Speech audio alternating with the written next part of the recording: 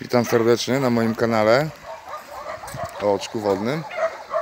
Dzisiaj mamy, słuchajcie, 5 listopada. Rybkom nie dawałem nic jeść od dwóch dni. Wczoraj kupiłem trochę peletu dla jesiotrów głównie. Nagrywam telefonem. Nie nagrywam nową kamerą. Słuchajcie, strasznie dużo internetu mi zabiera, jak wrzucam filmy z kamery.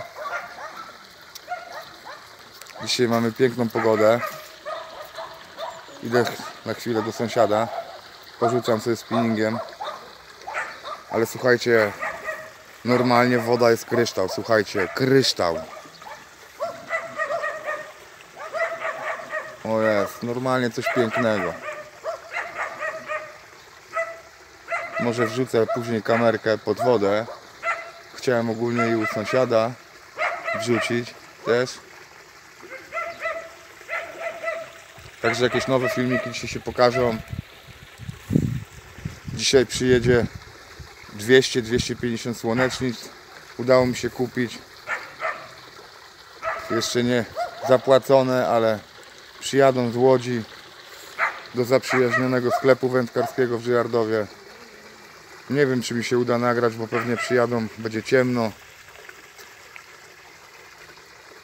Będę wolał raczej je dzisiaj wpuścić dla drapieżników moich.